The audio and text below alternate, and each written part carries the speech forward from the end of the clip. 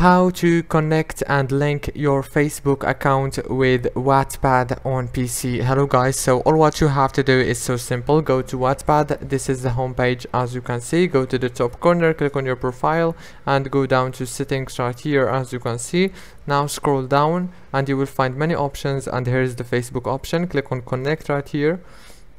And now as you can see, all what you have to do is click continue and it's connected successfully as you can see. If this video was helpful, please don't forget to like and subscribe and thank you so much for watching this video until the very end. See you later.